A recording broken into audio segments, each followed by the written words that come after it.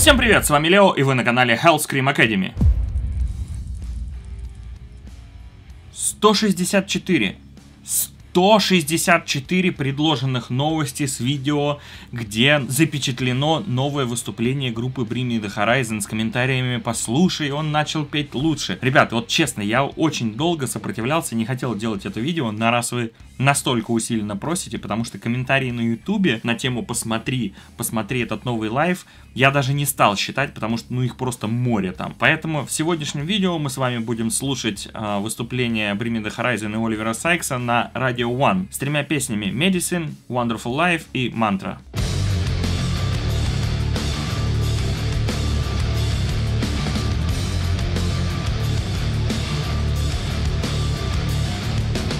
Ну и если вы впервые у меня на канале, то вам нужно знать, что я являюсь основателем и преподавателем вокала самой большой рок-школы в СНГ, которая называется Hellscream Academy. Мои студенты успешно выступают, записывают альбомы и гастролируют со своими коллективами. Некоторых из них вы точно знаете и могли видеть их на разных телешоу типа «Голос» и «Большая сцена». Ну и естественно, они могли заезжать в ваш город с концертом. Как музыкант я являюсь эндорсером, то есть лицом компании ESP Guitars, Ernie Ball, Samson, Top Ears и даже вот этого самого кресла DX Seat. А также я являюсь основателем и вокалистом группы Fiend, которая в свою очередь имеет опыт выступлений и туров с такими монстрами как Pain, Nightwish, Children of Bodom, Fear Factory, Wolfheart, Norther, Betraying the Merchers и многими другими. Ну и конечно же не стоит забывать о моем опыте работы с платиновыми продюсерами Мика Юсилой и Анси Кипа. Ну и как обычно, сегодня мы с вами говорим только о технике, не о музыке, не о тексте, не о самих вокальных партиях, а именно о том, как они исполнены, то есть о мастерстве самого исполнителя.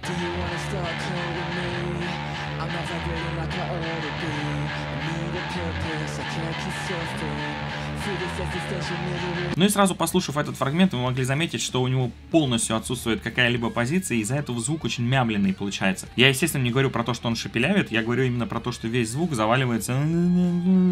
И за счет этого он очень сильно проваливается в звуковом миксе. То есть я не говорю сейчас о балансе громкости, а именно о том, что голос не пробивает музыку, он как-то поверх нее болтается, такой, знаете, с жижей такой непонятный. При этом, когда там начинает петь фиш, его очень четко становится слышно, потому что у него четкий направленный звук.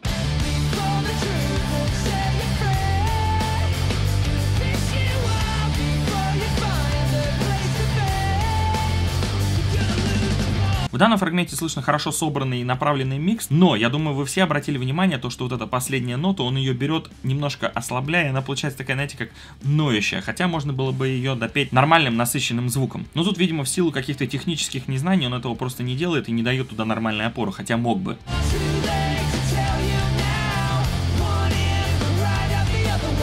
Здесь сразу слышно, что когда появляется бэк-вокал, мы получаем такой, знаете, насыщенный низ, который поет на терцию ниже, и появляется вот этот вот самый альбомный звук Оливера Сайкса, то есть перемешанный голос Сайкса и Фиша. И вот как раз появляется тот самый момент, когда голос начинает пробивать микс. Естественно, поверх всего этого слышно, как Сайкс очень сильно заводит звук в нос и прям вот таким вот образом начинает выпивать какие-то ноты.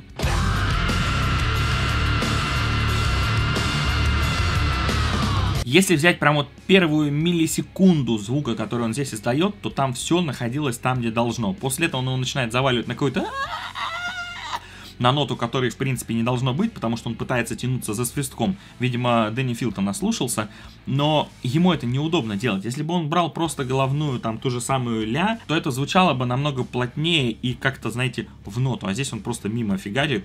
Вроде есть расщепление, вроде что-то там появляется, но вот эта вот нота, которая мимо всего, это не очень круто.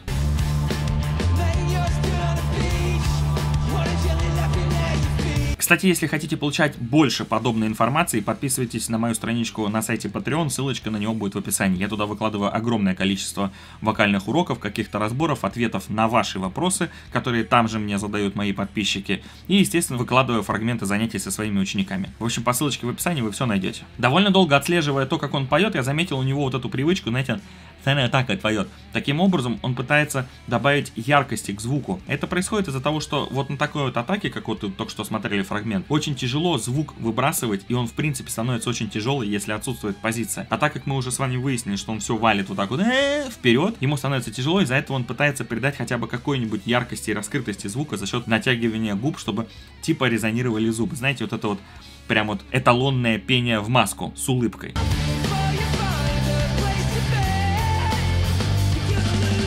Ну и как я вам уже неоднократно говорил, пение в маску, особенно партии, которые находятся за пределом нормального мужского диапазона, то есть за соль первой октавы, если вы их давите прям через «э», вот таким вот образом, голос очень быстро устает. Только что вы посмотрели фрагмент, вот эта самая нотка верхняя, начинает у нее разрываться именно по этой самой причине. Всего одна песня. Он ее даже до конца не спел, голос уже устал. Это, естественно, как вы понимаете, ненормально. Если бы голос находился в нормальной позиции немножко глубже, это звучало бы намного плотнее, и взять эту ноту было бы в разы легче.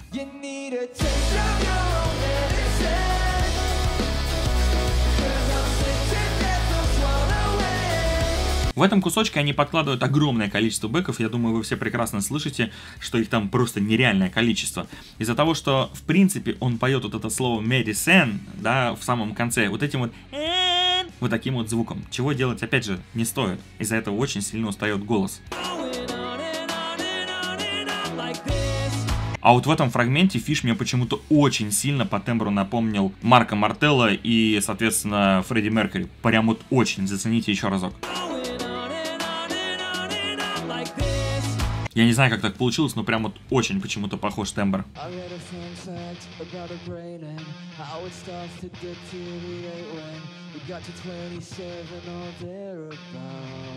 Вот здесь вот по последней ноте, которая была низкая, очень хорошо заметно, как сильно влияет отсутствие позиции на четкость ноты. То есть, когда вы поете вне позиции, у вас гласные звуки постоянно меняют тембр, и создается впечатление, что вы постоянно поете мимо нот. На записи, естественно, это все вытюнивается, а вот в таких вот случаях это очень быстро и ярко палится.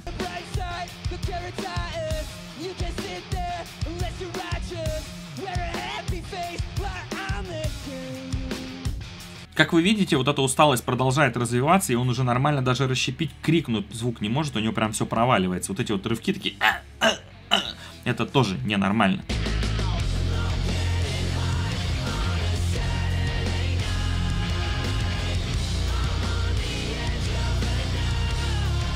Здесь, как понимаете, живого вокала вообще нет, потому что партия довольно высокая, и Сайкс ее, в принципе, вживую вряд ли споет.